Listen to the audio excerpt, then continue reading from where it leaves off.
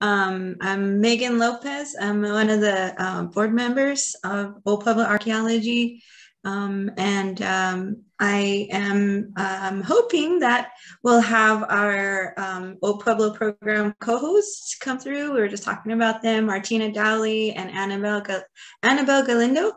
Um, they're um, also sitting board members of Old Pueblo Archaeology and also Indigenous to um, this area and um, they uh, they've helped support us in bringing some awesome uh, panelists through come through and talk about their uh, specialty fields and the interest of um, the the indigenous population. So um, again, thank you everybody for joining us. Uh, it's a great night. We have Jefford here. Yay, Jefford. Thank you for joining us. And, you know, I really appreciate um, the time that you uh, spent working on um, this project with us and trying to get the get the thing going. And so thank you for much, so much for joining us. Um, I do want to uh, acknowledge that uh, we have a land acknowledgement statement and I just want to read it off to some of the people who are joining us from out of state and people who are in state and um, haven't heard our land acknowledgement yet. So Pueblo Archaeology Center uh, respectfully acknowledges that our nonprofit organization occupies and conducts our activities on land and territories of indigenous peoples. Today, Arizona is home to 22 federally recognized tribes, with Tucson being home to the O'odham and the Yaqui. Committed to diversity and inclusion, Old Pueblo strives to build sustainable relationships with uh, sovereign Native nations and indigenous communities through education offerings, partnerships, and community service. Um, this Indigenous Interest Project that, that we're bringing to you this evening um, is a series of bi-monthly online programs um, or webinars in which members of the Arizona Indian tribes are given the opportunity to give presentations about their people's perspective, concerns, and interests in today's world. And um, how those viewpoints may or may not mesh with those of non-Indigenous peoples. Um, Arizona Humanities has provided Old Pueblo Archaeology with a grant to make these Indigenous interest programs possible. So um, during tonight's Zoom session, if you have questions, comments, as some of you are already doing, um, please uh, click on your Zoom chat or Q&A button and type your question or comment there and we'll, we'll read it at the end of the, of the presentation. And then if there's something you need to clarify, make sure that you put that in the feature. Um, use your hand, raising hand feature if you need to. Uh, if you have a question immediately, um, and as Old Pueblo's program host, we will see all the chat and Q&A inquiries, entries, and we'll relay them as soon as possible. So um, in, let's see. So I've known Jefford for a really long time, just um, being community members and then working with, uh, with um, the Himdaki and working on a series of projects and trying to preserve the lands and also educate our youth. Um, that's something that we are parallel in and have a strength in when addressing a lot of the the things that happen on our community in our community. So I really appreciate again, I really appreciate you being here tonight, Jefford, and speaking on behalf of the of the um, the O'odham and our our views. Some of the viewpoints that you're going to discuss tonight are strong. They're strongly held. I know, like myself, I was uh, sharing earlier in the discussion with Al that um, I I experienced a lot of the the conversations with my elders and um, my relatives and um, and just educators in general that um, there's there's certain things that you do and you don't do with artifacts, and so you know a lot of what we're gonna be understanding is the perspective of the O'odham and the relationship between archaeology and archaeologists and what they do, and so it's all it's all great information. Um, so um, without further ado, Jefford, please. Thank you. To say good evening to everybody, all the people that are attending. And um, hope you uh, enjoy what I'm going to talk about. I want to talk about myself first, of who I am and where I came from and where I'm going. Um, I grew up in the village of Tupawa, and uh, I there's I have uh, all of our kids, my brothers and sisters. There's eight of us. We had a big family, um, and uh, we grew up not going anywhere but living there in the village of Tupawa. It, you know, back then it cost money to travel, so we mostly just stayed home. But we also went and visited my um, my grandfolks, and they were uh, pure uh, uh, traditional O'odham, always talking O'odham. And when I went and I lived with them, I guess my mother uh, and my father decided to leave me there and um, to bet to get better better to know the O'odham language. And um, I did, and I and I spent a lot of time with them. My grandmother and my grandfather, my Bob and my Huod, that's my mother's uh, parents, and we went on trips, and they always told me what to do, and I listened to them, and they took care of me. And then one day when I um, when I was there with them, uh, this this lady came, and I, I had an idea it was my mother, and um, he, she said that for me to uh, to go that she was sent by my father to bring me back to my home. And I said, I told him, this is my home, at my grandfolks' home. And I said, this is where I live. They raised me. Little I know, not from childhood, but they raised me. They taught me a lot um, about the, some culture and a lot of work. Was always work, working, chopping wood, go getting wood, feeding horses, and um, doing a bunch of stuff. And but one thing that really stuck to my mind was that my my grandmother and my grandfolks were always they always took me to a lot of my relatives and they would introduce me who I was to them, their grandson, and that we talk time. And we went all over and she introduced them and to a lot of my uh, my mother's cousins in another village of uh, Big Fields. And today I think about that, that that was very important so the people would know who I am and where I where I where I live and my parents, my mother, my father. And so um, and I came back to here and and I didn't feel I didn't feel comfortable comfortable because I spoke all the time and my brothers and sisters didn't. Eh, they did very little, but eventually I broke away and learned English and and then when I'm also remember my, my, my grandfolks on my dad's side, my Wask and my Kak. My Kak was my grandmother on my dad's side was my mother's, my father's uh, mother. She was blind. And, and how she got there was that back in the old days, you know, the, the kids were forced to go to school and she got sent to Chilocco over in Oklahoma. And um, along the way, and she cried and cried and cried. And she wanted to come home, but they won't let her come home. So um, she stayed there. And over the years, when she did came home, she went blind and she went and saw her medicine man. And the medicine man said that the reason she got blind is because when she left to Oklahoma, it was cold and it got, and it, that's how it damaged her eyes.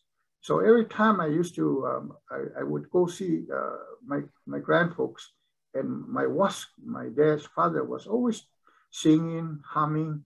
He was a tall, skinny guy, and uh, he also did a lot of work. And they had a fields, and those fields aren't there anymore. A lot of trees. They farmed a lot, and I got to know my aunts and my uncles.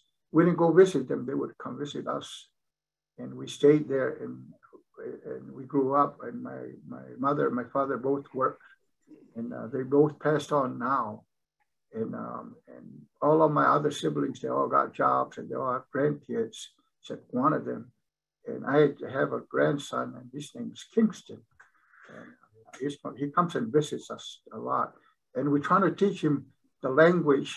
And my my wife always, uh, Amelia, she always uh, teaches him. She's teaching him how to dance, and he's learning as long as you don't laugh at him, and you'll dance. And he's really uh, move, you know, wants to do stuff.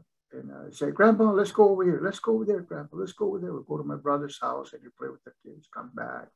And then I go do something, dig a hole or chop wood or something. Let me help. Let me help. And you know, that's what kids need is that guidance of, of the basic work, to work, always work, because our ancestors, that's what they did long time ago, always working and working, kept them in shape, running, uh, traditional running. The ladies would run every morning. My mother used to say, and, uh, and when she showed me where they ran, it was like about 10 miles. And the reason they ran was because they never knew when the Apaches would attack. So they had to be ready and get up and take off, run to the hills or run wherever they, they gather again. And that's why they were running. But they would bless themselves. And they at that, that time they ran, they had skirts. And I told her skirts. She said, that's the way we were dressed all the time. But I lived there with my, and I, and back in Tupauwa, where I finally got graduated from high school in Babakuri in, uh, in the community of Sells, the capital of the, the, our nation. And I uh, graduated and I um, wondered what I was going to do. I said, well, and I had a friend, he, he's passed on now. And my friend said, well, let's go join the service. I said, okay. And so we ended up joining the Marine Corps. And uh, from my experience, I learned a lot from the Marine Corps. I learned a lot about uh, discipline, leadership, respect, and met a lot of culture, uh, other cultures there, a lot of, not too many Indians, but uh, they were there, but we all had our little groups. And um, from my, all my stuff from the service, I really enjoyed. I liked it. It was a home away from home. Uh, but I was, first year I was stationed in camp, in uh, Camp Schwab, Okinawa. Man, it was really nice. To me, we lived right by the beach. Our barracks were there, a lot of exercise and a lot of training. From there, I came, uh, uh, I came back to the Camp Pendleton. I was stationed at uh, Camp Horno, and I was there doing the same thing. Well, we would get deployed well, to the navies, and we'd go on deployment and uh, be on standby for any anything, anything goes goes on. This, the president would send the Marines always the first, and we are always the first ones to land the ground, hit the beach, and do what we're going to do. And um, I, I, stayed there for about two years. And then I said, oh, I want to move somewhere else. And there was an opening for um, Okinawa, uh, for uh, Hawaii. So I signed up and said, get ready pack your stuff and ready to go. So off I went to Hawaii and it was beautiful.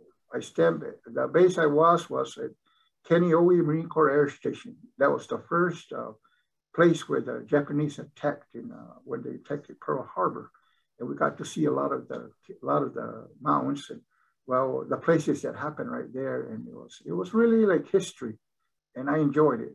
You know, I said, wow, you know, you hear about that attack back then. I'm actually there, you know, and then I got to see the island, the Hawaii, uh, Honolulu, and the Diamond Head, and I got to go to the West End, see the the, the Hawaiian people there, their culture, was really good. And I, I stayed there for uh, three years and I, I got to travel. but like I said, we're on deployment all the time, um, um, every battalion. And so um, um, our turn came up. Every, for the last three, every year we had to go on a deployment with the Navy. So I got to go to, um, um, starting from Aust uh, Australia and then went to, no, New Zealand, Australia, Singapore, Hong Kong, uh, Midway, um, Tinian Islands, and then all the way up to uh, Japan, Mount Fuji, uh, Tokyo. So I got to travel, and it was, you know, it's always uh, uh, Philippines. Got to see other culture, other cities. And when I joined up the service, I was only 17, and my father was really proud of me to uh, join the service. And, and when I went in, I had to sign for me, of course, I was still 17. And I stayed there for um, uh, three years and my term was coming up.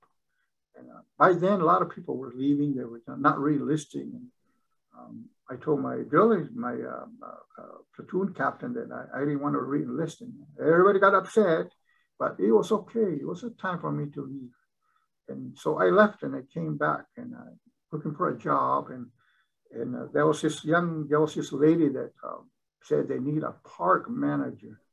And it was right in my backyard, the Babakuri Mountains at I'itoi Cave, I'itoi uh, home site.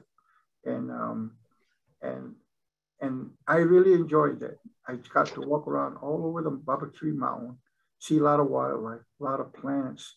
And I also got to see a lot of archaeological stuff that was there in at the Babakiri Mountains. Um, crystal, crystals, uh, potsherds, grinding stone, metates, manos, um, um, arrowheads, you name it. And a lot of pictographs on the rock, rock, rock drawings. I got to see that and I always wonder, you know, who, who did this thing? But it, brought, it took me back to my childhood. My, my, my mother, our mother was our teacher and she taught us about, she told, told us about stories about the Hohokam. And one of the time, one of the stories that she had mentioned was the Hohok, uh, the lady that was eating the people. And that's another big long story. And in O'odham culture, we don't talk about stories in the summertime until it's winter. Then we talk about those stories. But um, she was our teacher, and and she she talked to told us about the Hohok, and we're eight of us were all gathered around her, and we were so curious. What was this? And she told us, and the good stuff and the bad stuff. And it stuck to my mind ever since. And and he brought me back to Babakiri, and I uh, I don't know, a lot of you guys have gone there already, but the, the picture rock has a lot of um, uh, pictographs on there, and there's caves that have drawings on there too. There's a lot of stuff that's going on, and you hear different noises. But when I lived there, I enjoyed it. I used to hike to Babakiri and just sit there and wonder about that. Our, our ancestors used to sit there and probably prayed and um, asking for things and guidance in our in our lives. And um, they probably left offering at Babakiri. Is anywhere you go around Tucson, Mexico, down to Sells, Covered Wells, all the way down to Hill, um, not to Hickiwan, you can see Babakiri. And we call Babakiri the center of our universe. It's the center of the universe. That's our belief. And I today I still believe that. And, and one of the other things that stuck to my mind was that my mother always used to say, you know, I'itoi, our creator, he's not dead, he's still around. Because we never hear, oh, I'itoi's buried over there. So I believe that he's still here and we ask, we ask for guidance in our lives and protection. And uh, it helps us. And so when I, I, I lived there, and then I was there for like seven years. And then along came this young lady by the name of Donna Howe. She's a, she's a, a biologist. And she, we started talking. And um, by then my time was up and my, my position was they want to do away with it. By then I just had my first son. His name was uh, Travis. And I told, they wanted me to stay on. I said, no, I got a son. I got to get a job. So Donna Howe said, I want you to come work for our organization. And, um, and I said, okay. And that was the Arizona uh, Nature Conservancy. So I went and I started working and I was consulting to the tribe. And the thing that I did there was talk about endangered species, and which have a lot here on the reservation.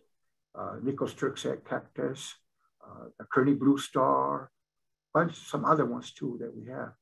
And so I went and I enjoyed it. And I finally got to come really start going out to the other communities in other districts, which I didn't know I wasn't familiar with it because like I grew up mostly at home. And then they would teach, they would uh, talk to me about this, about the plants and the animals, but they weren't really open. They would, I guess, see if I was true, if I was really an honest guy and talking about, knew what I was talking about. And so I learned a lot from uh, uh, my supervisor while I was with that organization. And, uh, and I liked it. I got to see all the others, like they have a lot of preserves. and I went and see them and I saw the, the manager there and they told me we talked about their land, what was going on. And, uh, and they do have archaeology sites there too, which they protect. and that was God, the 80s, you know. So I stayed there and and I worked uh, worked there and I enjoyed it. The only thing is that I had to travel a lot of time, uh, Denver and other places uh, to to talk about uh, uh, species that was on the O'odham reservation, but along also that other tribes have important plants as well and animals as well. So I did that one, and then um, it got to a point where um, I met another friend, and uh, his name was uh, Peter Ruiz, and uh, he's passed on now. But he was interested in it, and he invited me to his office, and I told, and I started went, and he started. We started talking. He started. We started talking, and he said, "I heard that you were working over there, and you're talking about this, and uh, we want you to. Would you want to come work for the tribe?" And I and I said, "Yes, I, I would very much want to come home." and work because I've been traveling a lot away from my family, and I want to just be right here. So over time, I um, I, I, got the job. I was a, a uh, not a like kind of like a biologist, but a field tech guy. Oh, ran all, I ran all over the reservation, and then I learned a lot of the roles, the back rows, the minings. Oh, then talked about bats, snakes, you name it. Uh, went up to Babakiri, hiked around Babakiri, and then uh, work with other biologists off the reservation. And uh, one of them was on the reservation, but did some a few stuff there. And then I um, I was there, and I uh, it was uh, really interesting. I wanted to other people to know what they what we have in our backyard at Babakiri in their communities, and what plants were available, what they can uh, what they can use, and what's plants toxic that, um, that, that, that I know about it too. So I stayed there for about, oh, about eight years. Then I left and I went to work for my community, uh, working with the elderly, talking about culture, talking about the plants and the animals as well. And I liked that one. Stayed there for three years. We, I got out. I thought, oh, well, I'm going to go and uh, you know, take a break and then look for another job. And then uh, this guy came around. his name Peter Steere, which is my supervisor today. And I started in 2011. And, um, and he knew that I was a surveyor and that uh, in, in, in, I was also doing a, a, cultural survey when I was working for the wildlife program here on the tribe and got to see a lot of stuff. We have a lot of sites here on the reservation all over and some, some sites that people don't know about and where they're located. And we don't share that stuff with uh, in the outside world. And uh, that a lot of the, uh, when I got to know people, they would take me out and they would show me that, that this was what's there. Uh, this is what's on the rocks. This is what's in the ground. And some of them I didn't even know. And that um, I go there to this today and I learn about this stuff. And I ask and I tell them, and they tell me these, uh, our ancestors, uh, the Hohokam, which a lot of um, uh, uh, archaeologists don't don't understand that uh, we're the descendants, and it's that it's a separate um, that just the word Hohokam means it's all gone. It's not really their name; it was given to them, but that's our ancestors because they they they those people are us who we are. We use the same thing that they were using. We are farming, hunters, ceremony, but back then they had ball courts and uh, they had um, um, platform mounts, all this stuff. And uh, but our beliefs is that is um, our belief is what our people tell us, our grandfolks, my grandfolks, my parents, my mother, my father, and then I share them with everybody. Everywhere I go, I start talking, and somebody will stop me and say, "Hey, what's this about? What's this about?" The other part that you know, and I'm going to kind of skip about, jump into archaeology. You know, there's good archaeology and there's bad archaeology. But, you know, the O'odham, um, you can't change our minds. Our minds can't change, won't change. And we believe what our ancestors told us, our grandfolks, our, our parents. And those are the people that um, tell us this is what that's about. That's the ones that open. And then the archaeologists, oh, no, no, no, that's different.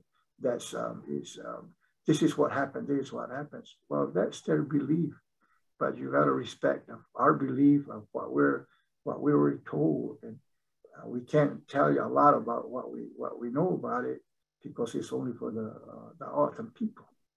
And today I, I still meet people, my own people O'odham, and they tell me stuff. Hey, you know, there's this over there, this, that over there can you come see? And by the time I, uh, to meet that person, he has passed on.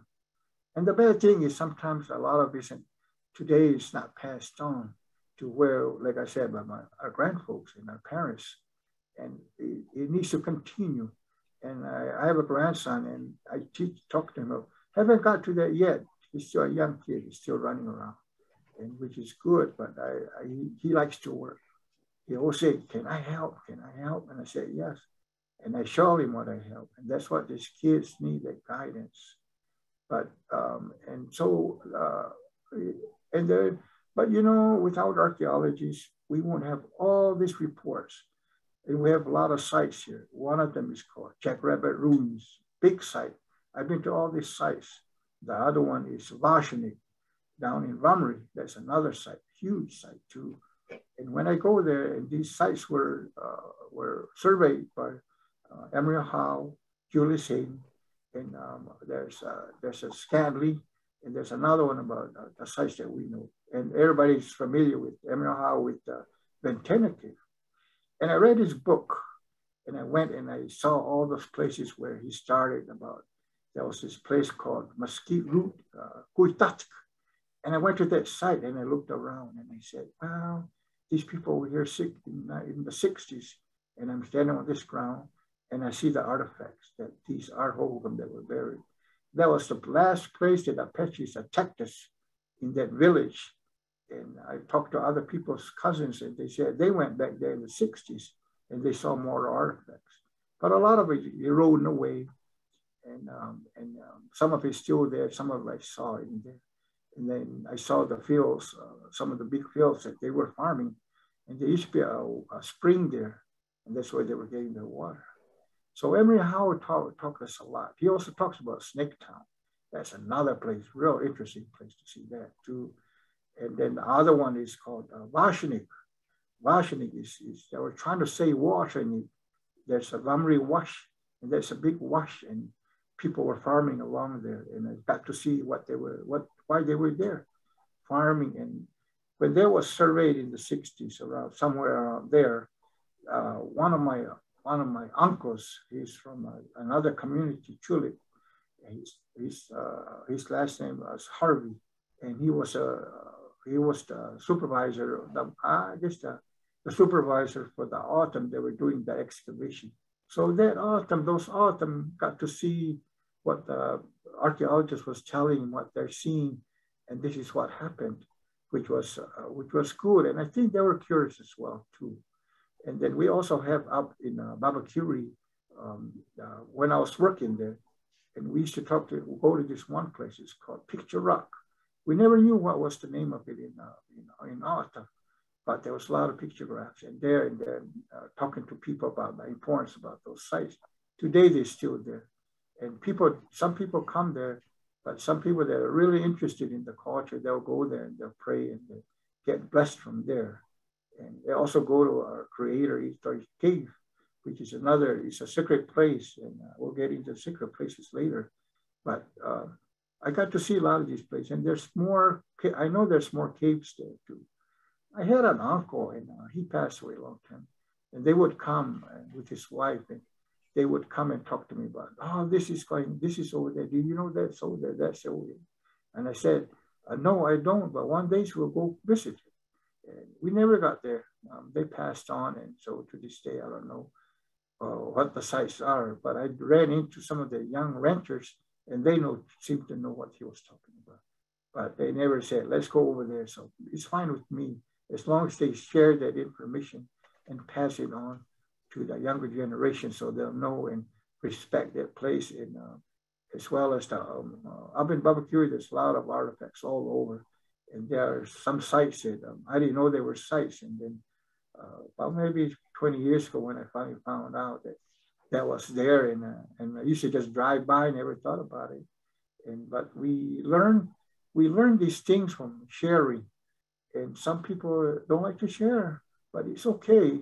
I just tell them, share with somebody, a cousin or brother or sister and let them, uh, and they'll carry it on, carry it on eventually I'll find out, but not today. So, but it's fine. It's fine. I have other places I can visit too. So, so I, I today I, I I've been here since, like I said, 2011, and um, now I'll kind of um, um, uh, get out of get out get out of my introduction about myself. But before I forget, I wanted to mention one about my grandmother. um, her name, uh, Aunt, her, my, my Kak. And I used to go see her before I go to go go go back to Hawaii. And she was always sad to see me go because uh, she had a son that was killed in Vietnam. And she was always so, I think she did that because that I might not come home. But when I came home and I told her that I was home for good, and she was all glad about that. And um, but uh, she passed on too, and she was uh, she used to talk about stories, and she um, she I, I, you know I loved all my grandfolks very much. Okay, so I now I want to go into um, into the some of the laws that we uh, the, the, the tribe mostly uh, uh, all the tribes in the reservation and what laws that we we we we have to abide by here.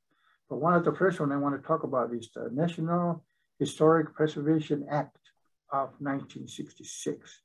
The reason uh, I was told that was established was back in the long time ago.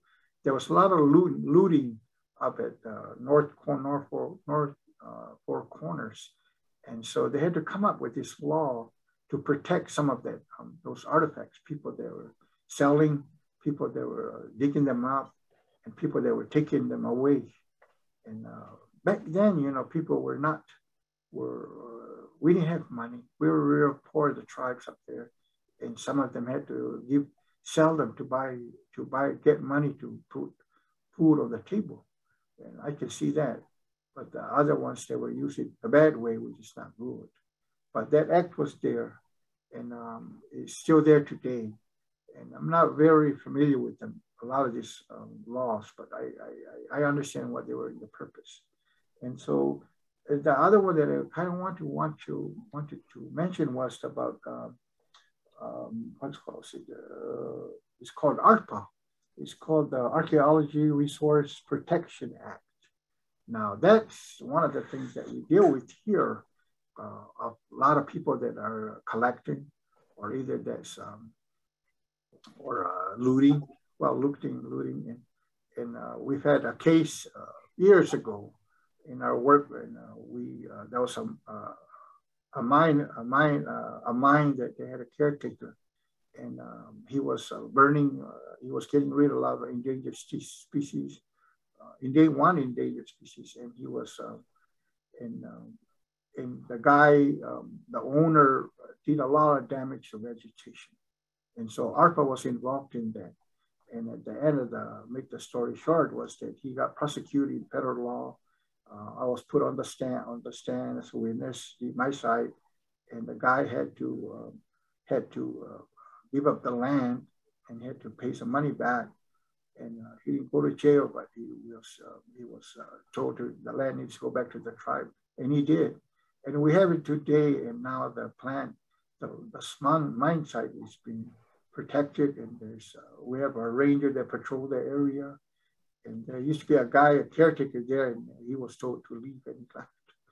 But uh, that was one of the other places that I got to see one of the endangered species there, the Nicholls turk's-head cactus, and uh, and uh, I always wondered what it was in O'odham, but I never got to find out. All the surveys we did, I didn't know, and maybe there was probably a name for it, but again, it wasn't shared and wasn't passed on. And I'm from another whole area of the res, and the local, the one, the O'odham that were living there, um, probably passed on with their name. And so we don't know. We just know it as a, a, a English English um, name for it too. But uh, other cases that happen, you know, that's uh, that law is really powerful because anytime you get federal monies, all these laws apply there. So we have to buy as well as the tribe, you know, and uh, and it helps us. It helps us protect our land here on the on the nation as well as all the other tribes. In Arizona and the United States, we use those laws. So the next one I wanted to talk about was the NAGPRA. Everybody's familiar with the NAGPRA, Native American Grave Protection and Appreciation Act of 1990. Well, to uh, what I was told was that um, way before NAGPRA, uh, O'odham Nation, we were doing reburials. And, you know, I'm pretty sure a lot of the people know about reburials, but uh, we had to create uh, uh, reburial. And he was, we were doing that way before the law. And our good friend Joe Joaquin, which he passed on, he was one of them that was in that in that group uh, developing this NAGPRA along with other tribes across the state, across the nation, and the state. Everybody was pushing for that, and it applied a lot of it to the colleges and the universities to inventory their what they have on the shelves of human remains, funeral objects, and return them back to the tribes. And there's a process that goes on. And um, today, uh, uh, we are working on our reburials, and we don't have it in about another two, another about another week. We'll have it, and this is where NAGPRA applies, which is really good because we get large amounts of uh, our, our ancestors that have been on shelves for years and decades and decades. Well, it's time to return them home. And I like to say is that, you know, what I'm seeing now today is that a lot of these, um, um, back in the old days, the archaeologists back then did not want to return those. They wanted it on shelves to be studied, studied, studied. But but it's, we didn't want them to do that. We want our ancestors to be returned. And so when we get them back, we have to create we have to create this uh, ceremony, and uh, in about a week we will be going through that. And uh, we have our own site, but uh, it can't be given out because it's only for the O'odham for Native Americans to attend those ceremonies. Nobody else can attend too. So, so it's a busy thing, but we're glad that NAGPRA is helping us to get our, our ancestors back. We get them from all over uh, I have a co-worker, Samuel Pena, and he retrieved, he just came, came not too long ago, he came back from his uh, Smithsonian in, uh, in Washington, and he retrieved a lot, uh, we get our ceremony materials and, and returned them to the district and to the village that, that was that was there, that was collected a uh, long time ago. And it's uh, returned now, and the people probably feel a whole lot better. And that um, the last ceremony was in uh, the week that was in 1940, 42, around there. And um, there was an article that uh, Julian Hayden had written, and he was talking about that when he was invited, back then, a lot of um, the, I'm going to say the white people were, uh, O'odham would invite and they were welcomed by the people there, excuse me, were uh, welcomed there to see what the ceremony was about. And one of the things that Julian Hayden had recognized is that the dancers were all um, old people, old men, because the ceremony is usually run by the men only. There's no women involved. Uh, and, but there was, there was part of it that was in the background. And he noticed it. by then, this um, what started happening was there was boarding school. Kids were sent away to forced to go away to other states, uh, institutions, and boarding school. My sisters and brother, my uh, three of my sisters went boarding school, and um, and also that was going on. Vietnam started by then, so a lot of them got drafted, a lot of them went uh, went. There was another thing that came up was called relocation. It happened all over, and uh, my tribe was affected by that too, and they were sent to California, uh, my grandfolk on my dad's side, uh, grandmother's side, she went to California. A lot of them left. And then uh, intermarriage from boarding school or wherever, and they went to their wives or boyfriends' uh, tribe. And uh, to this day, it's still going on, but not forced. A lot of boarding schools are people are uh, the students are willing to go, and um, all of this was starting to kick in and that's why uh, I think that the boarding uh, the ceremony faded out. And today, a lot of people want to bring them back, bring the Vikita back and uh, our ceremony, which is really good. It was for the refreshing, like a New Year's, vegetation, the, the paisage that we ate, um, and the chori, and uh, some of the stuff that we planted, like gaisa, corn, uh, corn, and uh, mostly squash beans, and a lot of the new crops were brought by Spanish when they started to come, the cattle by then and horses, and we adopted a lot. So over time, we started to change. We had to change in order to, to, um, to uh, eat, to buy, uh, to get, uh, to plant our crops and, uh, and uh, to survive. And so um, when, um, what was it? And so that kind of went on, that went on, kind of losing my thought. But NAGPRA, getting back to NAGPRA, that was a, a, a big thing for uh, a lot of the tribal members. And that, that, that act went to place. And we know, oh, I know what I forgot, was that um, what I'm seeing today is there's a lot of young ladies in archaeology and a lot of the young guys too. And one of the things I'm noticing is that what I hear is that they want to do the right thing. Let's give those remains back to our to the people that it belongs to. So we have to go through this process, through these uh, documents, to prove that is that that was our ancestors that were uh, tied in with it, and we do, and we get our remains, and so that's how our reburials that we get a lot of them, and we have a location where we collect them every end of the year. We we do our reburial, so it's it, it, it in a way it is good, it's good some law, but that's uh, that's some of the laws that I wanted to kind of talk about and what what what uh, what I learned from them. And there's a lot of laws. So now I want to go. What I want to jump into is uh, the whole, um, and I kind of touched it on already, is that you know those are those are who the O'odham are. And um, our first name was Papagos, and they were named were named by the by the Spanish bean eaters. I guess we like to eat beans. Till not in the 80s when we changed their name to the Tohono O'odham, the desert people. And that's who we are today. I would doubt it in the future we will change it again. As time again, we're going to change. And, uh, and, and like I said about NAGPRA, but we're getting our ancestors back, the Hohokam. And there's a lot of sites on the res that we have our ancestors there too.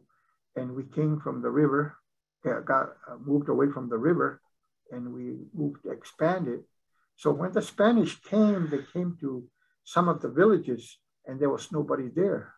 The reason they weren't there was they out, they left to go to, to go harvest uh, bear grass for baskets or go harvest uh, and go, they went to do other stuff. And the Spanish thought that they were, nobody, nobody lives there, so they call it abandoned village. But it wasn't, but eventually they came back. Um, my mother uh, was telling me and, uh, that uh, in her village of San Miguel, she uh, they used to live up in the in the mountains, uh, and I went to the site, and they had to carry water about a mile away to drink water and wash with, and um, and that was their winter home, and they would stay there. And she had a lot of brothers. She had brothers that were, they lived off wild plants, and they also did a lot of hunting. And they also went to the into Mexico and bought bought stuff that they, they like cheese and other stuff like that they would buy. And in my father's side, there was another place, um, it was called Pitoika, and it's still there to the village uh, today, but it was shared with other communities.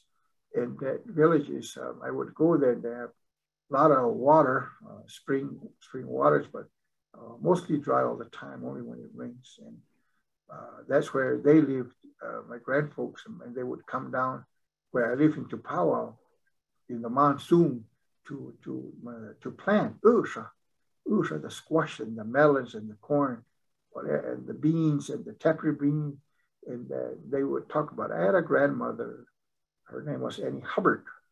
She was married to uh, Navajo, and she, when I was small, when I when I came back to to Paua, um, she used to. Uh, I used to go help her at her house, chop wood. She'd talk about what they planted. A lot of planting and squash and she would say, oh, the corn was so tall, the squash was so big. But eventually she came back and lived there next to us in our, in our, in our, in our, where we lived. And my father had a garden and he grew squash. So we grew up squash. And my father was a hunter and we always went hunting in the winter. We always hunted white-tailed deer. And they were up high in the mountains, but we climbed a lot a lot of exercise. We always had meat on there, and we had javelina as well, and we ate a lot of rabbit. And uh, but that's what we ate, and plus store stuff that we had too. So I got to grow up on, got to see a lot of, uh, a lot of, you know, I was being taught a lot of stuff. As long as my brother and my and my other brother, I have two brothers, and um, but the whole uh, of all the stuff that I read from archaeologists, they talk about that, about our ancestors, and, and I hear their side of the story, but we have our own stories about how we got here and how our Creator brought us here, um, and how I'itoi made us, and how we had all these conflicts going on with uh, raised by the Apaches and old villages that are go there. You go there today, there's nothing there. But with the trained eye of an archaeologist, or a monitor, or a surveyor, we get we know what we're looking for, and we'll see them, and we'll tell people, "This is the site." They say, "Well, how do you know?" I say, "Come here," and we part. We tell them what do we see. We see a potter potsherd, uh, obsidian, uh, manos, and uh, uh, a lot of other stuff, uh, decorated potsherds, plain ware, all the stuff that archaeologists uh, enjoy looking at. And, uh, and, and some of those villages, there were hundreds of people there, but they moved. They moved to other villages, intermarriage, relation, they left for water, whatever else there was. But our, our, our creator that put us here is uh, I'itoi, like I had said. But the whole, uh, I think, is the same thing they believed in I'itoi, but it was just a different way of, uh, a different approach to I'itoi. And that's how they, they, they know about it. And they worship every day, every day they worship what, what I, uh, the way I understand, they're praising that they, that they get to see another day. And they're, they're happy about the weather. I used to know, I used to know a guy, his name was Ed Kisto, and he lived up in the mountains, has a beautiful ranch. And he always used to say, Oh, it's a beautiful day, beautiful day when I see him in the morning. And I was kind of looking around. I said, oh, what, what you mean? And as I got older, then I realized what it means. He said, to be glad that every day you're alive, that you get to see people, you get to see your relatives, you get to, talk, think about our ancestors and get to see our grandkids, you know, and that's so that's the important people, our grandkids, your grandkids, to talk to them about the Himdag, our way of life. And, uh, and, uh, and you'll hear the archaeologists, uh, their side of the, story, but we are always going to believe in our human and who we are and what we what we are what we're all about. But um, like I said about the whole our ancestors, and when we do the reburial, you know, that's how I get to meet them, and I think of them, how they had survived hundreds of years uh, Gila River and all over. And uh, we see the remains of uh, what they had, uh, what they used, the plants and the animals and uh, the rocks, the same thing that we, we used to use down, my grandfolks used, and some of them still use today. And um, uh, one of the things I also kind of went to that really kind of got to me is that one time there was the Highway 86 going to a reservation this, um, they were doing an excavation and they came across a place where they were crema- doing cremation, the whole, and uh, it, it, it, didn't bother me. And I went and I learned from this um, old, um, he's an old person, archaeologist, and he told me this is what you were going to see. And sure enough, I got to see it. I got my hands on it. I touched it. And then later on, I realized that, you know, that um, um, I should have had a blessing I should have had a fan, a feather to cleanse myself and protect myself to that this that my ancestors won't bother me is when I finished the, the helping the survey. And and I, it was so interesting to me, but I, I, I respect it, but I also respect the, my, my ancestors, the Hohokam, that they need to be put back in the ground. And when our belief is that they're supposed to be not removed, and it's not their fault. And they should have been left alone, but there was a new road coming through, it's going to be affected, and so we removed them. So today, I, we also, Samuel and me, we go to Tucson all over, and we do a blessing of the sites when they before they excavated by law under NAGPRA and put the do the uh, uh, what do you call it the treatment treatment plant that every construction on the highway highway or anywhere has to uh, be approved by the tribe and look at that, what comments that we have. And we go there and we do a blessing. But uh, I just want to share, you know, like what I tell them when I talk to them in my own language all the time and tell them, you know, it's not their fault that, they, that, that they're being removed. It's just other culture. And, um, and they don't understand who we are and what we have. And don't bother them.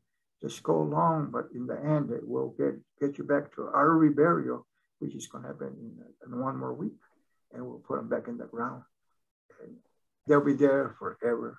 And that's where our ancestors are. Uh, other Hohokam are there. And so, and uh, and I was talked to that by another Maka told me, talk to them and tell them that Joe Joaquin was another one. Told me, talk to them and tell them what you're doing. And over time, I used to not invite the, the people that are doing the excavation. Then one day, I don't know why, and I thought, well, you know what? I need to educate these young archaeologists that are just now beginning to learn and tell them, come on, let's go. You know, come here, don't walk away. Come here, I'm going to tell you what I said, you know, and what what what they're why why they're being moved, and they and a lot of them understood it and they respect it. So you know, talking to people, the other culture, which they need to hear our side of the story and respect our side of the stories of who we are, where we came from, and uh, Hohokam that are our, ancestors. It probably is the same with other tribes too, that we're fighting for those uh, to uh, let the other other people in, even college, in school. And the best time is one way is that when their kids are small, you start teaching them that the O'odham language, your language, what whatever tribe you are. You start teaching the kids and they'll they'll learn. But they also need to learn the other side. My good friend Joe Joaquin, before he passed on, he always said there's two roads. And you have to follow those roads. You can walk, but you walk on one side and then you move back on the other side and you move back on the other side. But it's really up to you how you want to follow that road. But I saw them, it's a, it's a hard task. And, uh, and I got to see that. And he would talk to me about other situations that, that he had to do. That it was a hard call, but he said, I stuck to the, we all have to stick to our, our identity, who we are, our, our himdak, and share it on with other people. And when I have the opportunity, I'll, I'll, um, I'll do that in a crowd my own people, the kids. When I was doing biology, I was I, I went to the schools and I talked to the kids, but I went down to their level and I act like a kid, and I and they were really fun. Ah, oh, they had a lot of questions.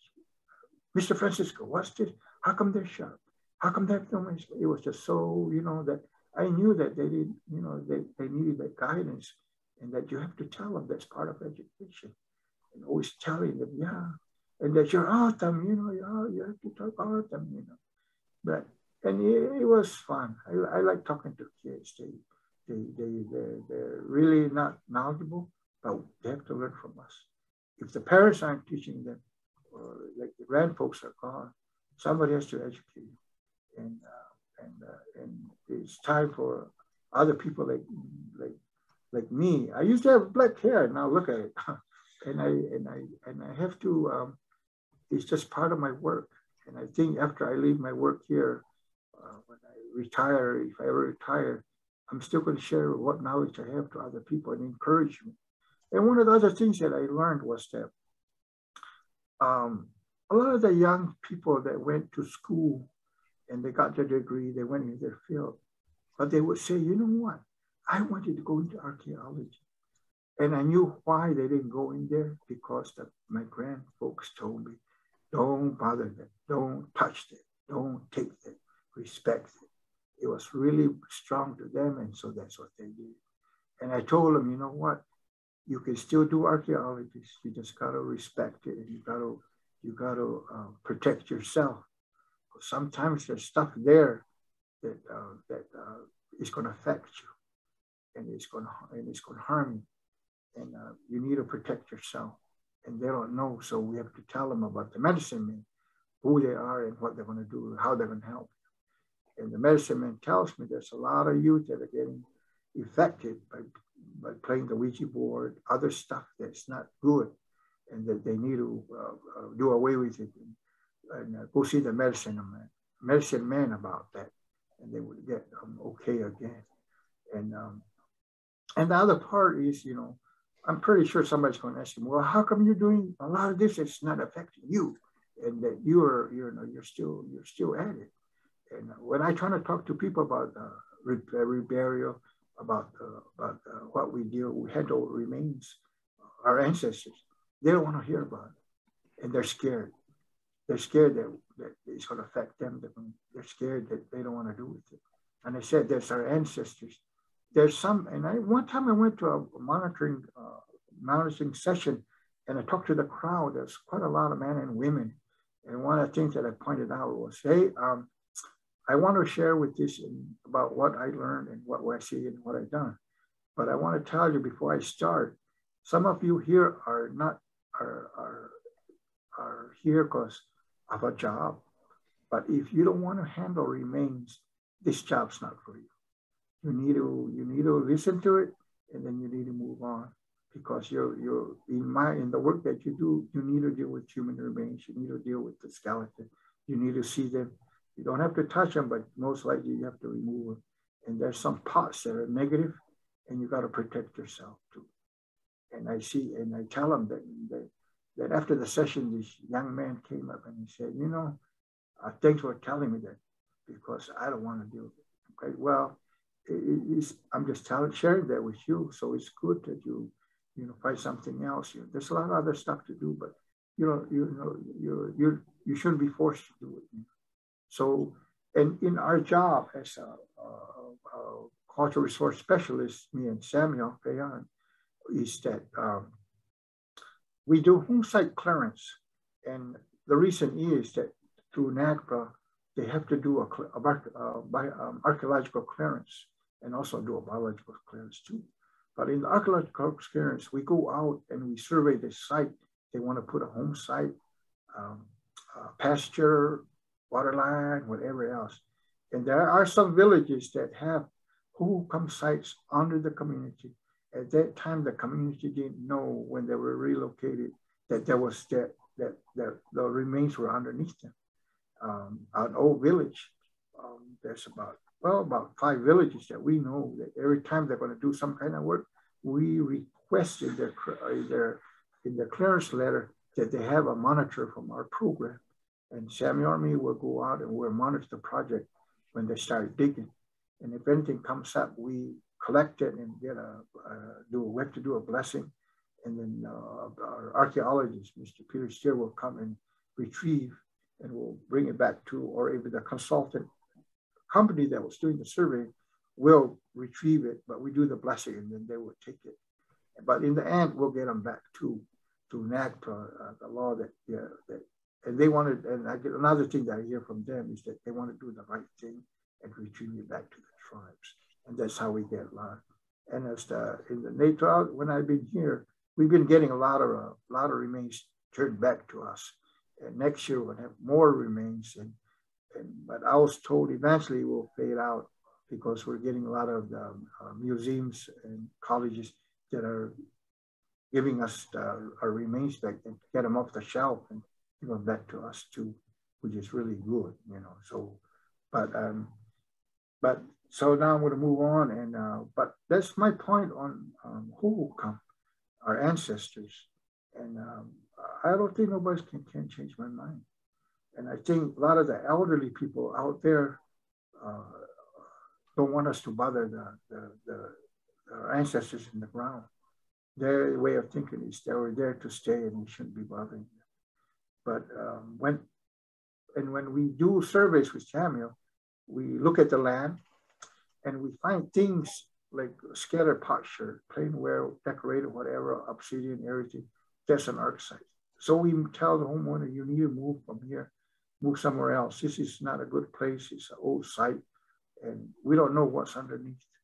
And a lot of the young people don't understand it. Why? Why? Then it tells you you they're not they're not um, uh, they haven't been never told about uh, our ancestors, and that you need to protect those by leaving them alone.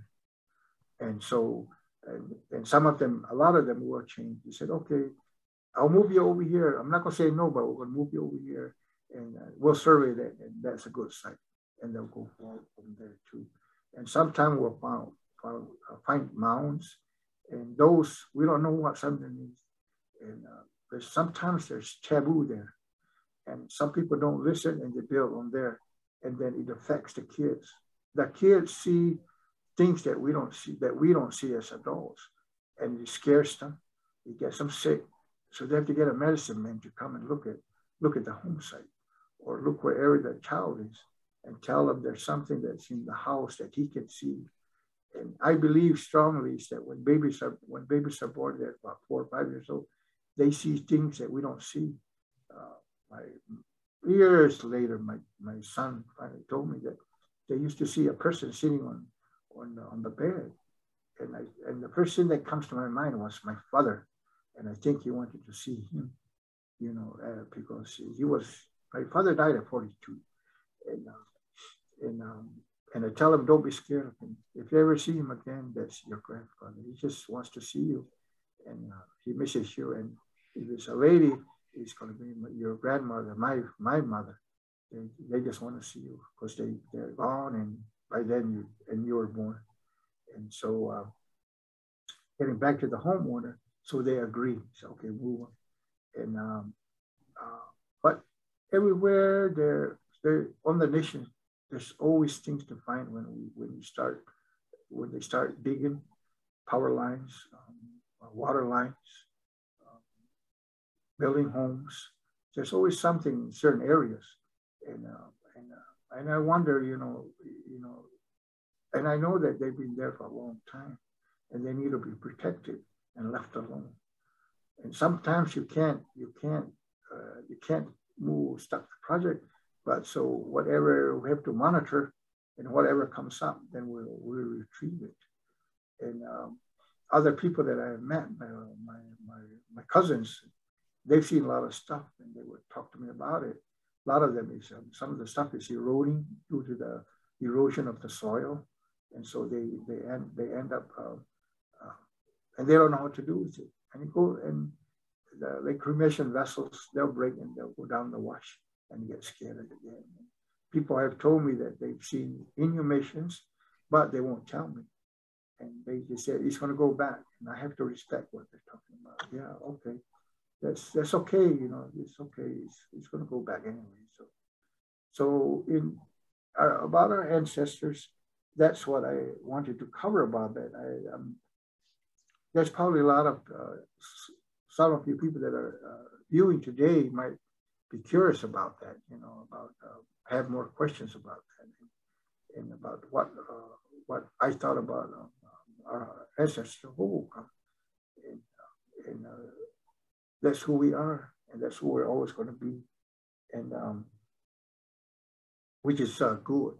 It's good, and I share with my brothers and sisters, and we all. There's other people that are well familiar more about the laws and, and about some other elder people know about location sites like that. And I have a friend that lives in another village, an older gentleman.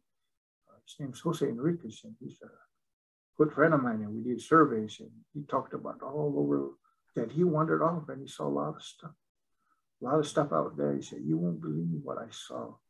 I said, It probably happened. He said, Yeah. And I just questioned and he would ask me, How come this is like that? And I said, Well, from the outside world, this is what they tell me, and that's what it is.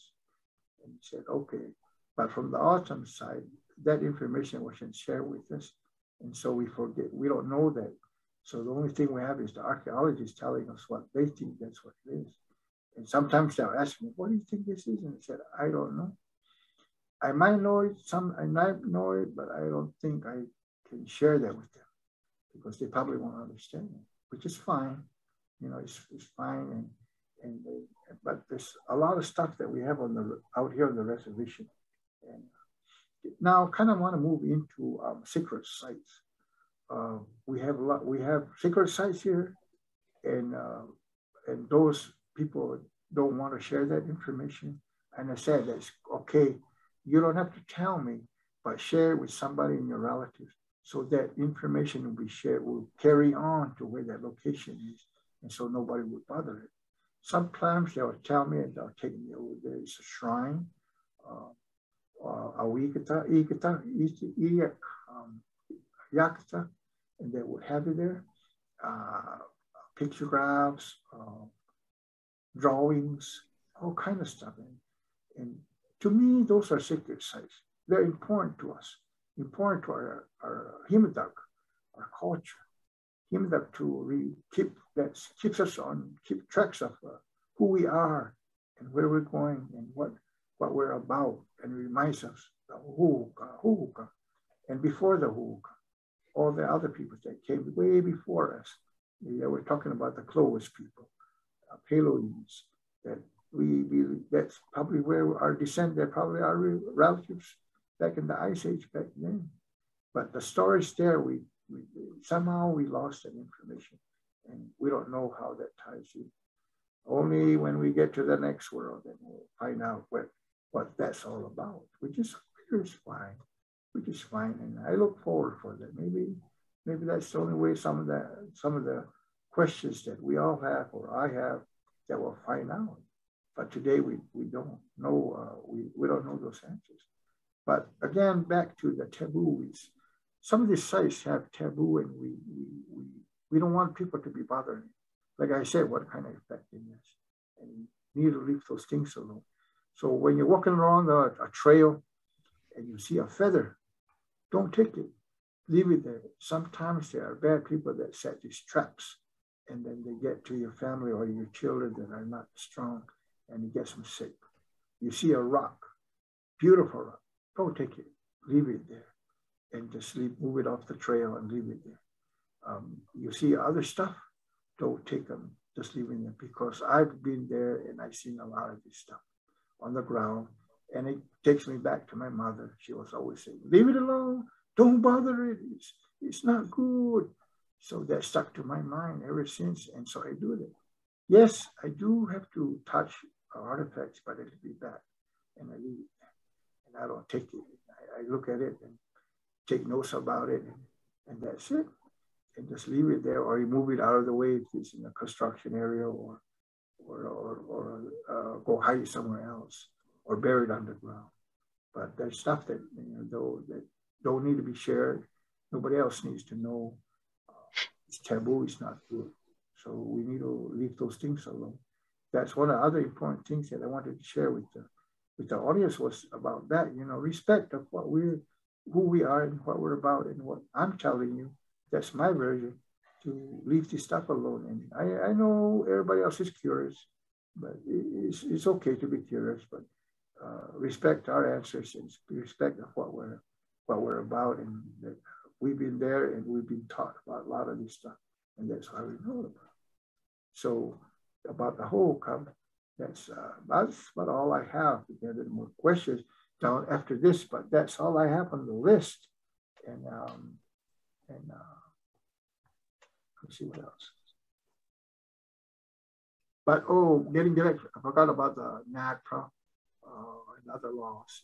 In NAGPRA, if you use federal monies, Health Service, BIA, you have to follow NAGPRA laws um, and, know, and, and just follow them to process and get all of the tribes. And that's the law that's helping us as well too. Here on our reservation, we are not doing any excavation. Um, we, we we, we just leave it alone. We just respect it. We just, we'll move the project, tell the contractor move the project somewhere else, move it or avoid that site. In a lot of my clearance letter, I write those to the family, to the homeowner that's going to be a homeowner. You need to avoid this site. You need to move it somewhere else, and, and they'll do it and, uh, because it's O'odham, and they'll understand it. Okay, I, I, didn't know that's what was there. They'll say that. So he said, okay, just he said, well, how do you know that's not?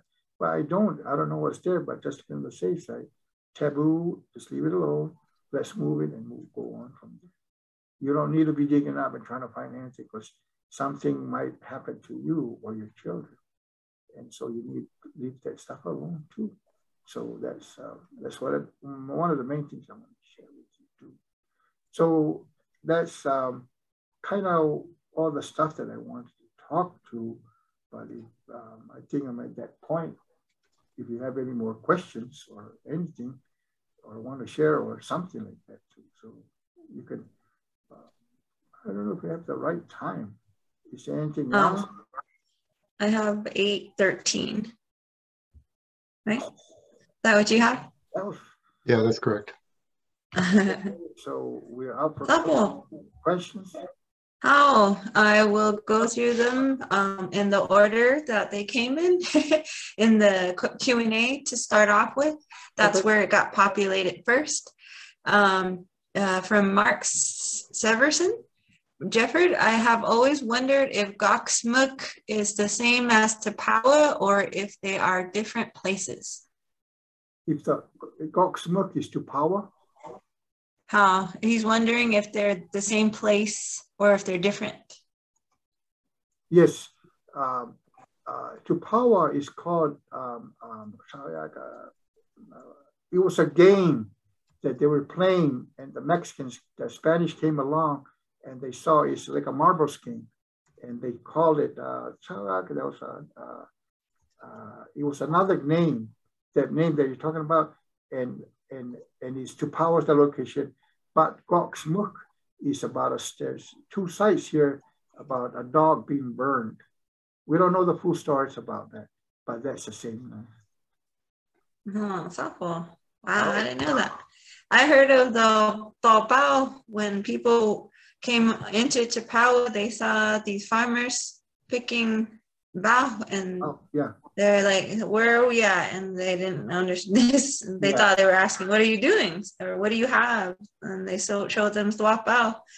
Stuapao. So they started calling it Stuapao. Oh, it must be meaning Tuapawa or something. yeah, they were calling the game Bowie, the game like mm. marbles, and they thought they were saying that that's how that came about. I see. Thank you, Mayor. Oh, Um, Carol Tellis, sorry if I'm saying your last name wrong. Uh, Carol asked, do you speak the native language your grandparents spoke to you? And have you taught your children and your grandchildren your native language? Yes, I, I do. Um, I really not really, I'm really, some people say I'm really fluent, but when you come to numbers, no, I'm, that's, I, it's a certain language. But when I went into service, I forgot my language. So when I came back, I didn't know the language. So I had to kind of like learn a lot of it all over and I brought it back. And I said, oh, okay. Yes, I try to teach my nephews and nieces and my grandson the language. And that's that's very important. When you go to TOCC college, it's one of the requirements that you have to take O'odham language and O'odham mm-hmm. history. It's, it's good, but it's better to start teaching the kids when they're small and they'll understand. They won't understand it, but as they get older, then you know, oh, okay, you know, uh, they fluent, but they'll learn. They'll learn it. Uh, especially, oh, yeah, you're talking to them all the time. oh yeah. yeah.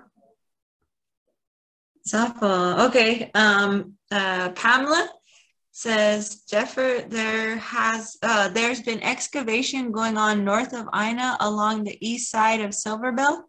It's shielded with the tan cloth, but when the wind blows, you can see work going on there.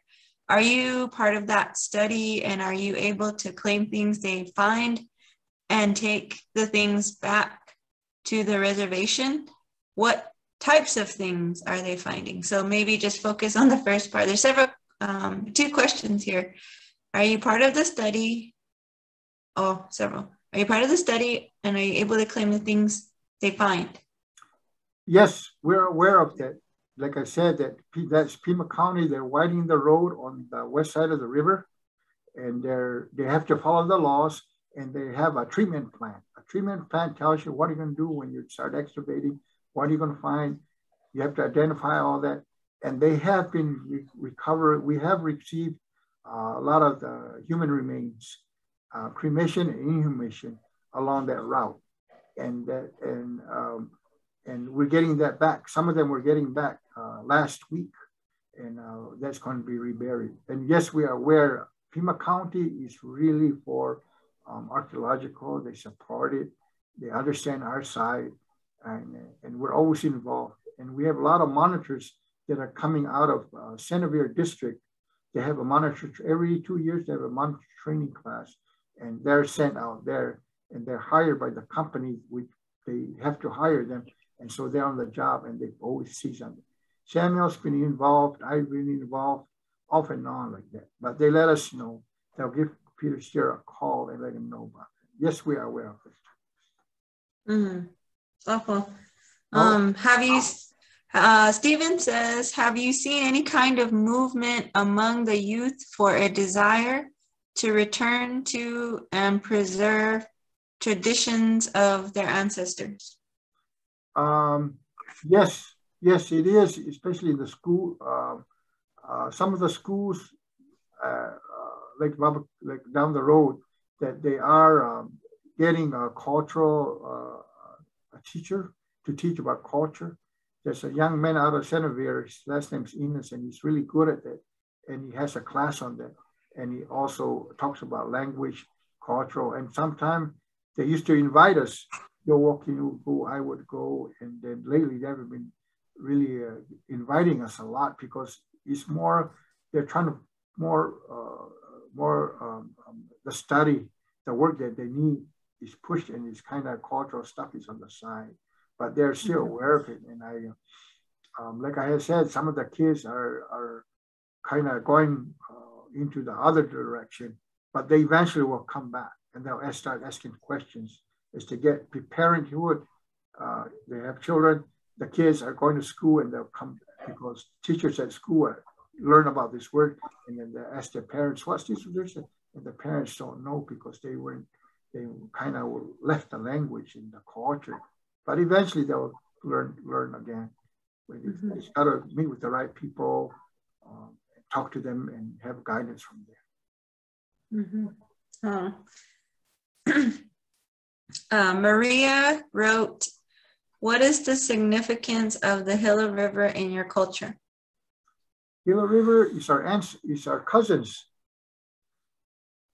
The the O'odham Nation starts, the O'odham people land is originally, our ancestor is from the Salt River all the way down to into Mexico, where the, where the Yaquis, there's a river and the Yaquis lived on the other side and that was the end of our southern boundary and our northern boundary. And our western boundary was the river, uh, Colorado River, and you go east to Benson. Benson, the San Pedro River was the end of our other one. So in Salt River, you have the Akimel O'odham, the, the, in the north, in the eastern part is the Sobaipuri. And then if you go down in Mexico, we have the in Mexico, but there's another tribe that are O'odham, they're isolated up in the mountains. And uh, Op, Opcom, and they're still there, and they're still to there today. And we have the western, the western part of the, of the reservation, and that was the O'odham. And today, they, their land used to be the Gunny Range and over in Yuma, but they were moved off the, off the land and then all in Ajo or in different areas. But those were our ancestral land. And over time, it's been cut here and here to where we are today. But the four tribes, there's Akimel O'odham, there's uh, Gila River, Salt River, and T.O. Nation. The four tribes that we meet every month, talk about issues, invite other archaeologists, people um, want to know stuff about what's going on or telling about projects like that too. So, okay. Okay. Um, Jeffrey wrote, uh, was what? Uh, excuse me. Was was there a particular burial practice used by the Hohokam? For instance, were burials above ground or a mound? You mentioned uh, cremation. Whoa. Yeah. Oh, yes, um, there was, according to archaeologists, there was a part time of cremations, but it was only a really short time, I think, in the 14th century, and it didn't last that long. And then it faded out, and then became inhumation. Um, I think a lot of it has to do with the Spanish, the way they buried them, the ceremony, all that, which we do today, the rosary. See all that stuff that we do, the crosses and all that back then, um, remember there was a virus, the black vomit. It was, what was it? Um, um, it was, uh, uh, that anybody came and covered all over. It really hit a lot of the O'odham and there was villages that were wiped out. it was a virus, but it was called black vomit in the late 1800s, I think. But it came from Mexico, the way I was told. And a lot of people were just taken, they were dying. They were just taken out, and there was a small uh, in uh, digging in the ground, and they were buried. And my cousin was saying that her father was telling that's the way they were buried at a fast rate, and a lot, a lot, it cut down a lot of our people. It's kind of like the virus today, which is happening as, as well too. It's killing a lot of the, our elderlies, and it, it's not good. But we can't change it. We can get shots, but back then there was no shots.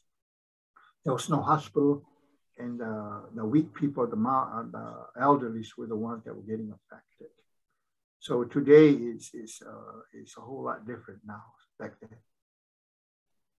Yeah, similarly too, our, our burial our ceremonial practice this in contemporary times or you know we have a four day thing and now it's yeah. um, very very short and at the middle of the night you know it's changed everybody's behaviors this yeah. pandemic and the other thing about today that's uh, my brother and other people that want to do cremation but they're saying oh that's not our way yes it is because the Hohokam our ancestors were doing that it faded out. So, you know, mm-hmm. you can do that. And I have a, my friend I was talking about, Peter Ruiz, he got cremated and that's, mm-hmm. that was his wishes.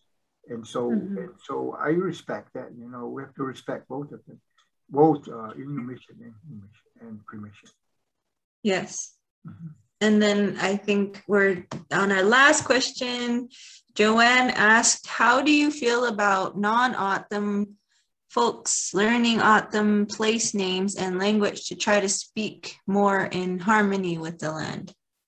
Mm, I think that's good. It's good because then you now respect our side of the of the Native Americans of how we feel, who we are, and where we're coming from, and respect returning our remains, and that um, is good. Another thing that I'm seeing, kind of seeing now, is that a lot of the uh, non-O'odham people are using our medicine man because they're starting to be, understand how important he is to us and how he tells us things that get us sick and that we need him and he'll tell us what we have to do. And and I see some of them that are that are asking for O'odham a medicine man. Mm-hmm. Even in other tribes, they're using our O'odham medicine man to go and uh, work or fix them up. And, uh, and they will go, they'll travel to Navajo, Hopi, other places to help people. That's his job, is to help not just O'odham, but anybody that asks for help. And that person that's asking that question, which is good, I, I respect it. You know, you can learn the language, it's good, but uh, um, uh, there's, and the dialogue will change in different areas depends on where you go. Like I'm from here Topawa and I'll go to the Hickiwan and they kind of laugh at me because my the way I say things. But we but, but we can try we can talk. It's just that they talk faster over there than over here. They go further to celebrate, they're slower, but here is is this the way I'm going to be, and you can't change me of the way I see words, certain words, mm-hmm. you know. That's right. That's good. Yeah. yeah. um, I'm looking in the chat and uh, it's just um, um, there was a hand that was raised. I don't know if um, Sonia still had a question. Yeah, there's um, there's also a question from Frank Grenier in the chat just before oh, okay. my message to Sonia. All right. Oh, about halfway down.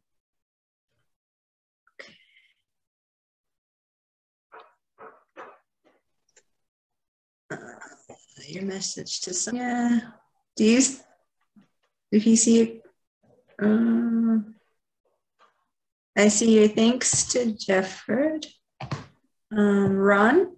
No, go, go above that, uh, Megan. There's a message from Frank Grenier. Do you see any areas where archaeologists and authors can agree on the interpretation of the Hohokam people? Mm. Did you did did he hear you? Go ahead, repeat it. Uh, Frank asked, do you see any areas where the archaeologists and all of them can agree on the interpretation of the Hohokam people? Um, yes, yes, I'm starting to see that that they are fine. Not everybody, but I think they're finally understanding that we are the same. But like I had, you know, I had mentioned to you in in your culture, you uh, you separate things, you put them in category here and here. To where we don't, it's all one thing. Uh, mm-hmm. uh, uh we're all O'odham on the on our nation. It's just that the dialects change and the location, O'odham, uh, um, uh, uh, Salt River, the, the Sarai Creek, which are gone, but uh, they're still strong. And so, it, but we're all O'odham and we're all trying to do the same thing is to uh, keep the culture going, keep the knowledge going about who we are and where we're coming from. Mm-hmm. Mm-hmm.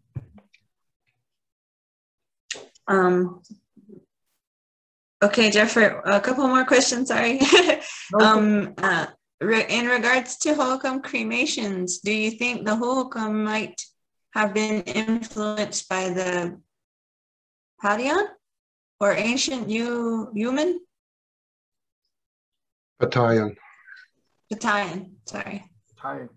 Um, the way I understand, the Patayan are mostly by the uh, Colorado River.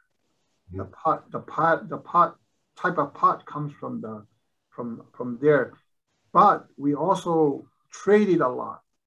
There's places where we find Patayan uh, uh, uh, but he didn't. We know that we traded, but the archaeological archaeologists think no, it's the O'odhams yeah, but we traded. We bought it. We traded with something, and that was something that I think they're kind of like struggling right there.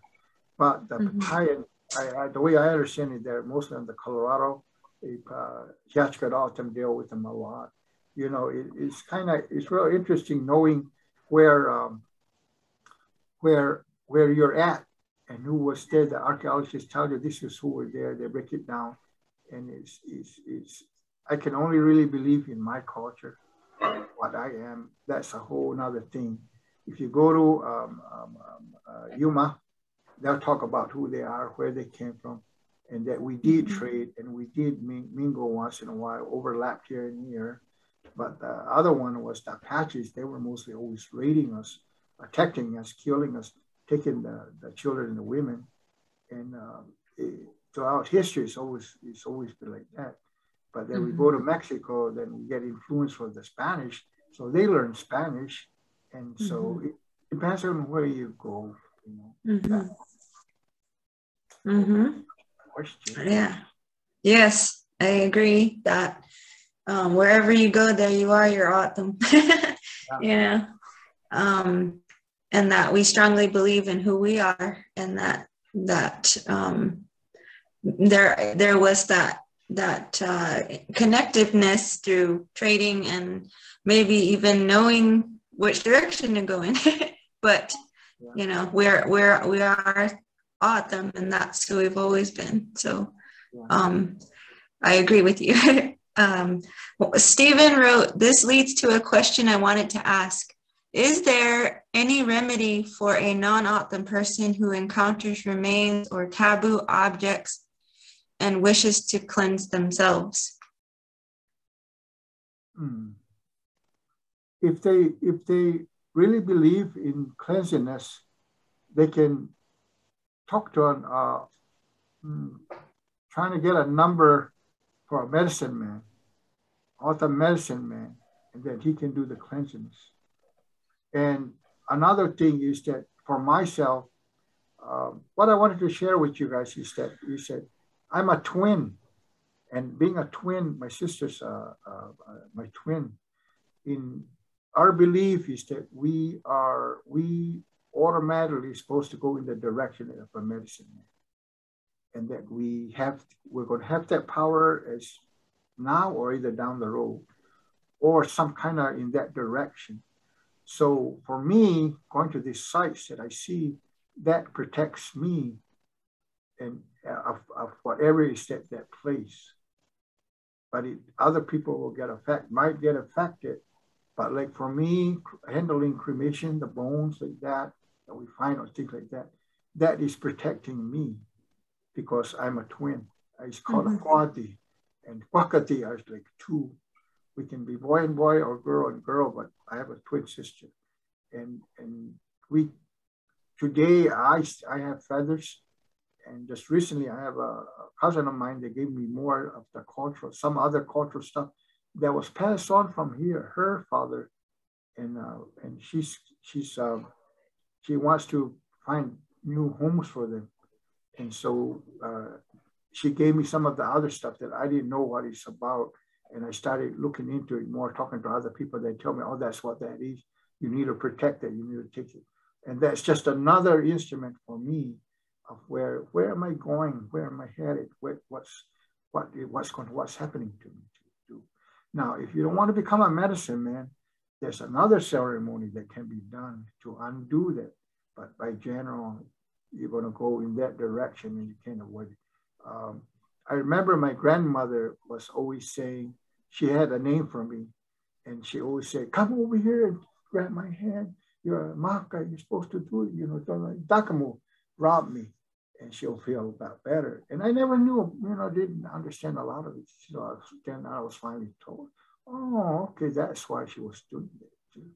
too. And then I, um, but before like I do the blessing, I think that's part of the my uh, my path to in that direction is to do that, and and we have to use that power in the right way. We can't use it not in the bad way. Yes, you can, but it's really up to individual. But the bad, the right way is do the, the right thing and take care of people, help them on their um, in their health. Um, people talk to me, ask me, and a lot of it's just really talking about what I learned. I don't have the answer, but I eventually will find out. And sometimes times they just want to talk. There's nobody to talk about. Oh, the, the language, uh, where they're from, what's going on, you know, what they miss, the food, uh, stories, the ceremonies, which is very cut down a lot of it. That we mm-hmm. don't we don't practice that, but there is still going on. We're just struggling along but somehow it's gonna. It's, I think you'll get stronger again down the road. We got to have the right people in this to to move on in that in that direction and make it strong again. And it's really up to our leaders of what direction. But then we also have our own roles too. And I tell uh, some of the people that are my age, you say, you're an elderly now, you need to play that role. You need to help people. You need to talk to them about the culture. You need to show them what you know and tell them to respect this, to respect what you can see on the ground. Don't touch that. And it goes all the way back to my mother, my grand folks that told us that. And so that sticks in my mind about the young girls, the young people that wanted to go into archaeology because now they're doing it because they were told not to, not to do that. And I told them, you can you can go ahead and do it. It's just you got to say that you're what you're doing. Tell them, talk to them, and then they'll, you know, uh, they won't bother you and have respect for them as well. Mm-hmm. What that, that's the, one of the things. But that's one of the about what I just told you is that I, I uh, uh, who I am and what I am, where I'm going and what I'm doing today, and I have I have a feather on my desk in uh, crystals, and uh, beginning to learn a lot about this stuff. What's what's mm-hmm. what's it all about? at that this age now, I'm still learning. I think we all go through that. Megan, uh, Martina has her tribe, everybody. Al has his tribe, and everybody. Mm. but that's, that's my point on that. Okay. Oh, oh. Okay. Um, one more. Jeffrey Fisher, he wrote, When did the practice of cremation begin? And uh, was there a concern for the journey to the afterlife life because of it? Mm, what I read about the uh, cremation, the cremation about the whole is what the archaeologists tell me about. I think it was in the 14th century, 1400s when they were doing it. But they said, uh, said it ended. It was for a short time and then it ended. Then they moved into inhumation. And then the, like the Yuma people, they still do cremation they still practice that because that's their belief.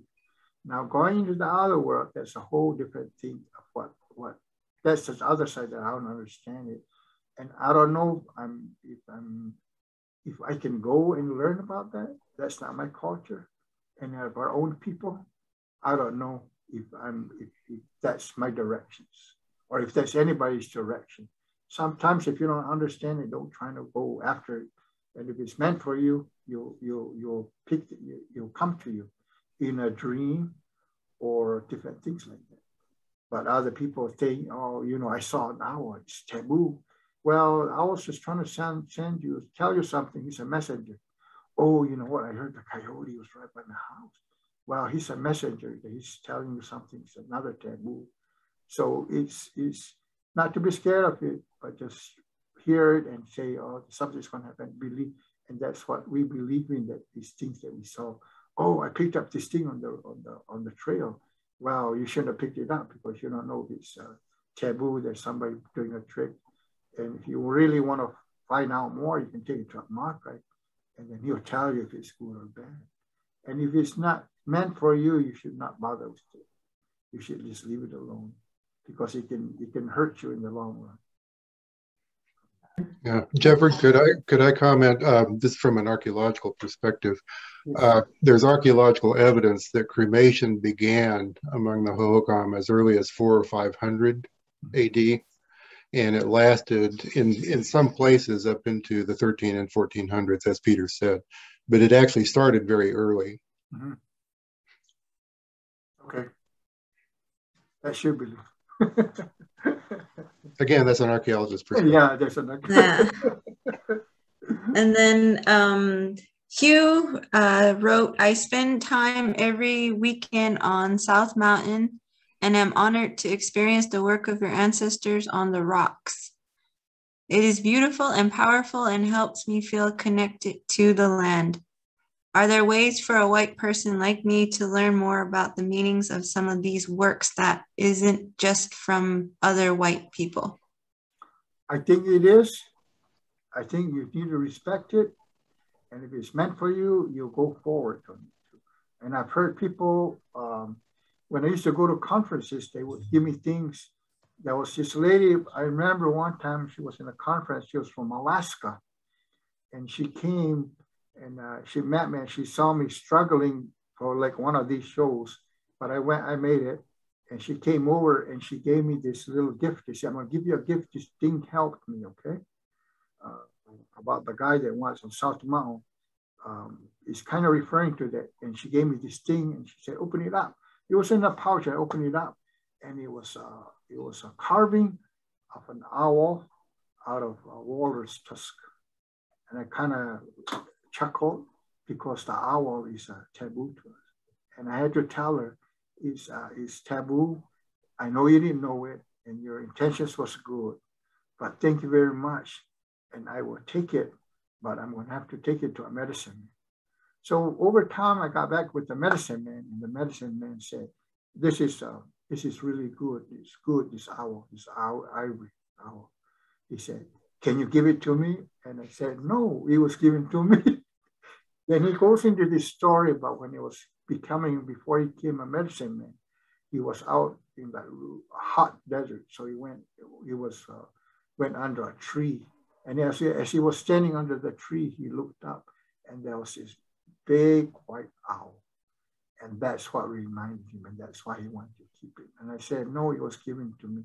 And that old gentleman, he was a makai and he passed on already. So to this day, people give me stuff and I have to have them clean. And I've been finding a lot of crystals, and crystals are good. Like the gentleman there, yes, you can, you can, you can do that, but you gotta have respect, and you can't abuse it. And if it's not meant for you to learn it, you have to just let it go. Don't try to force yourself into going into that. Just leave it alone. Or no, don't do it. You know, it's different from everybody, but for me, it's you can if it's going to help you.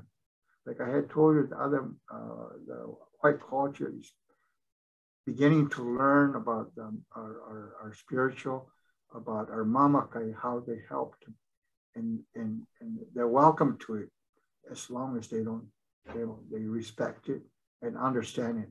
And if it does not work for them, not to go forward with it and just end it like that. Thank you. Thank you for sharing that. Um, I'm looking at the chat now and uh, I'm down to Ali shared something. Um, can I read it? Uh, yeah, but after you read mine, Samuel replied. So just go ahead and read his response. okay. Um, this is Samuel Fayant, Jefford's coworker. When I Oh, go, worked- go ahead and read mine first so so that people have context. Yeah, sorry. okay. Thank you, Jefford. yeah, This was actively, uh, when I was actively doing archaeology projects on non-reservation lands um, that the Tohono claim as their ancestral territory. The late Joe Joaquin and some other O'odham elders would come to the archaeological um, sites to perform a blessing ceremony. Joe and these other elders would uh, would invite and encourage archaeologists to be included. Um, they, sorry, in the blessing ceremonies if they wished, and most of us did participate. Is is that still the practice today to perform blessing ceremonies at off-reservation archaeological sites and to allow the archaeologists to be included? And Samuel responded um, that when um, when he would conduct a blessing at Ina and Silverbell when they discovered the remains, he blessed the archaeologists and protect uh, to protect and cleanse them for the work they are doing.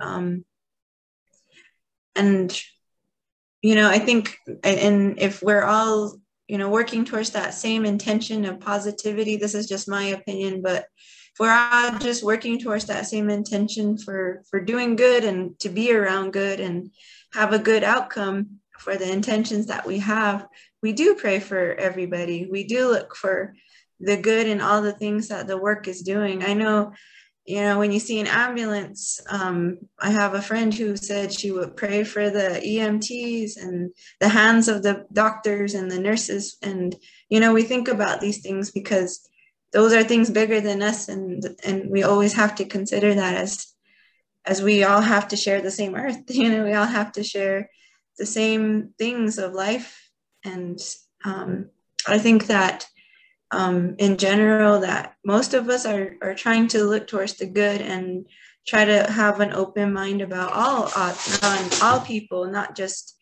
um, Dana Atam or Akim or, Hiachit or you know um, Aunt we're just trying to hope for the best and do the right thing as people.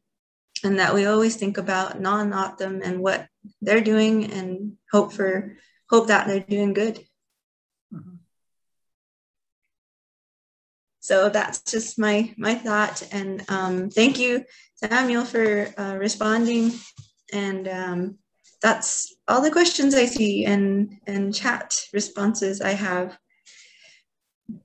Any parting words for the night before we let you go Jefford well, I'd like to thank everybody that was involved in this uh, grant. And it's times like this that is needed. Um, it shouldn't end here. It should continue on. And there's more other people that, like me and Samuel, that Mhm. can be interviewed and carried on, uh, and and so that it can be used.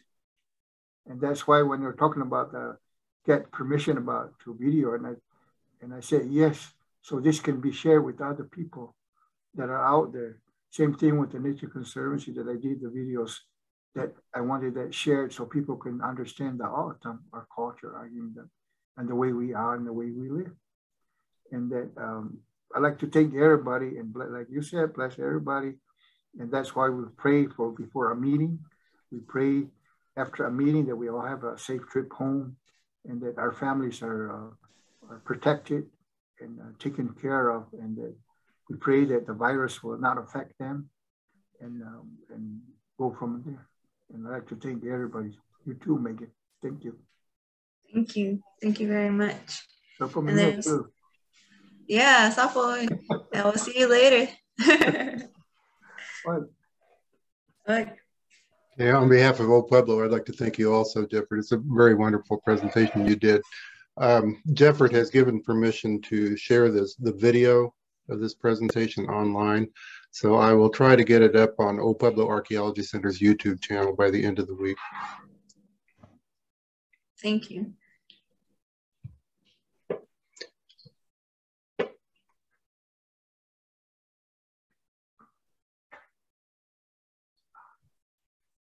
So do you have any wrap up, Megan? Mm, like Jefford, I just want to echo what Jefford said. Thank you so much for joining us and everybody be safe and, and get where you need to be safely and sleep well. And um, if you think of us at Old Pueblo, you know, come and visit us in our next um, virtual um, Indigenous Interest series and the other workshops and educational opportunities that we offer through Al and presenters that are coming through. Um, if you think of it, uh, of donating to these uh, presentations, please, please um, do so for the benefit of educating um, and have a wonderful night.